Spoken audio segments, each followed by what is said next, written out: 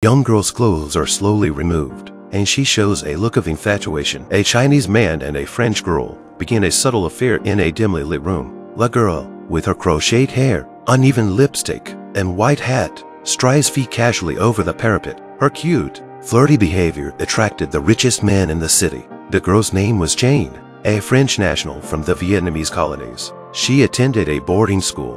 One day, she took the ferry back to school as usual. Her quiet nature, out of place in the hustle and bustle, attracted a man who was also on the ferry. The man's name is Tony, the only son of a wealthy local Chinese family, and he falls in love with Jane at first sight. He went up to the girl and hit on her. She gave him a cold look and didn't pay him any attention. Tony continued to talk to her. When he mentions where he lives, Jane immediately realizes that his family lives in a rich neighborhood and she starts to pay attention to him. Jane's family was very poor and her mother raised many children on her own. Jane's two older brothers, who were mean, often bullied her. Jane wanted to find a rich man so that she could make a better living. Tony asked the girl to get in the car and Jane agreed. As they Saturday in the small car, their relationship grew. Tony couldn't help but touch Jane with his hand. He stroked the girl's hand gently, and Jane didn't refuse. They didn't speak later until the car dropped Jane off at school. When she pulled her hand out and ran out of the car, Jane had a good friend at the boarding school.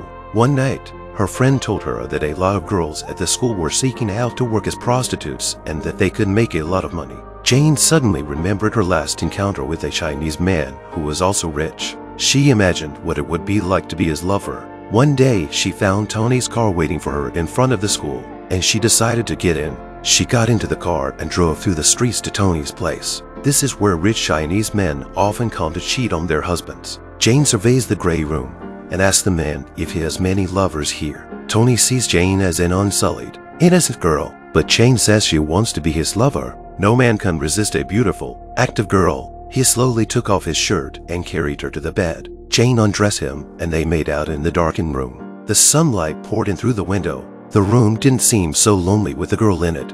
A leather ball slammed hard into the girl's arm, and instead of apologizing, the kids said the girl was too dirty and they needed to stay away from her, and the girl didn't care what they said. She spent every day with Tony, and the school called him a whore, but she didn't take it personally. Since Jane became Tony's lover, she was taken to his place as soon as school was over. The two of them made out in the small room, as if they were just a couple. Jane's body was young and vibrant, while Tony's health was poor due to his opium addiction. He doesn't have a proper job, so he's mentally unsupported, just like his dark room where even the plants can't survive. Jane's presence illuminated his dark heart, and even the plants in the room began to grow. Jane gradually became more and more important to him, but Tony's family had already arranged a fiancé for him, so Jane could only be a lover, never a wife. For Jane, she only saw the man in front of her as a tool to get money. One day, Tony took Jane to a restaurant for dinner. Jane asks if in Chinese tradition, men will marry women like her, Tony said that traditionally Chinese women don't have sex before marriage. So the moment Jane chose to be his lover, there was no chance of her marrying a Chinese man. Jane was silent for a moment when she heard that, but immediately returned to smiling again. She laughed and said she didn't like Chinese men either, but when she went back to the dormitory at night, she was alone and silently shedding tears. One day, Jane took Tony's car to go home to visit her mother. The appearance of a high-class car in the slums caused a commotion. When her mother asked her who owned the car, Jane lied and said she was just a friend. The mother looked at her absenteeism chart. She didn't believe her daughter. She decides to take the family to meet the friend. Tony takes Jane's family to an upscale restaurant, where his polite hospitality is not appreciated by the family. Jane's family didn't say a word at the dinner table. After the meal, Jane's eldest brother verbally abused him, and he almost fought with Tony. The second brother danced intimately with Jane, he ran his hand up and down Jane's back, and the two of them pressed together. All this made Tony angry. He didn't know when he had fallen in love with this French girl. Maybe it was the first time they met, or maybe it was the days they spent together. Jane became his lover and rekindled his hope in life. Before he met Jane, he had never known pain because no woman could make him fall in love with her. Now he couldn't bear the thought of her having any contact with other men. He took Jane to his home, where he roughly slapped her and slammed her on the bed pulling down her pants and forcing her to satisfy his need. Girl crosses her long, thin, white legs and asks the man how much a woman like her is worth. Tony sees that she doesn't show any emotion. She only sees their relationship as a transaction. He was so angry that he pulled out a few hundred and slammed it aside. He hated Jane for treating him like a whore. He hated Jane for not loving him, but he hated himself even more for falling in love with such a Jane. Love may be like this, full of human complexity and contradictions. He went home and told his father he wanted to marry Jane.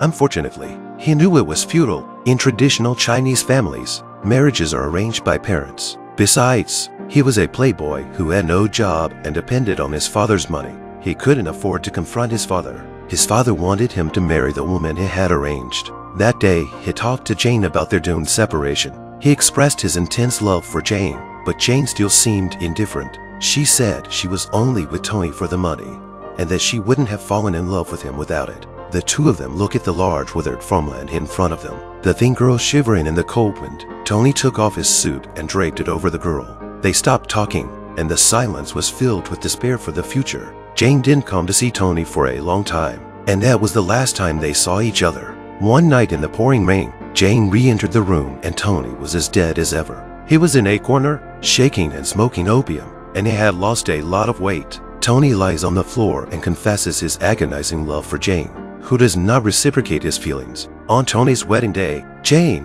dressed in black, Saturday in the center of the crowd. She looked cold and emotionless, but her eyes searched for Tony's figure. Her heart was full of fear and anxiety. Their love will never come to fruition, but they can't forget each other, and the pain in their hearts haunts them. Soon it was Jane's day to return to France, and she leaned on the railings and looked at the embankment just as she had done at the beginning. She looked around for her lover until she saw the familiar car at a corner. Jane's feelings began to rise. Tony must be in the car looking at her right now. It was then that the girl realized that she had always loved Tony because of the difference in their status. This love was never fruitful from the beginning, so deep down she never dared to admit a love. She told herself constantly that they were only together because of the money. But such self-deception had all come to naught at this moment. She stared at the car until the whole land disappeared in front of her eyes. Jane and Tony's love is not so much lust as the maintenance of their self-esteem. They were afraid that their existence was meaningless, but they felt that the love of others was emotionless.